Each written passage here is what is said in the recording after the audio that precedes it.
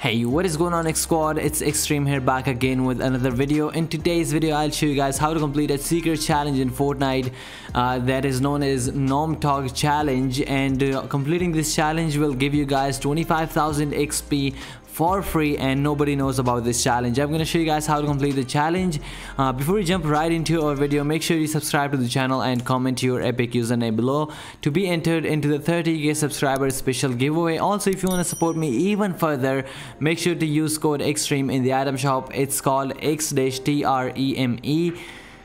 that's all you need to do. Now let's just jump right into our video. So the gnome talk challenge or the gnome talk location is exactly over here on your map. Let's go ahead and land over here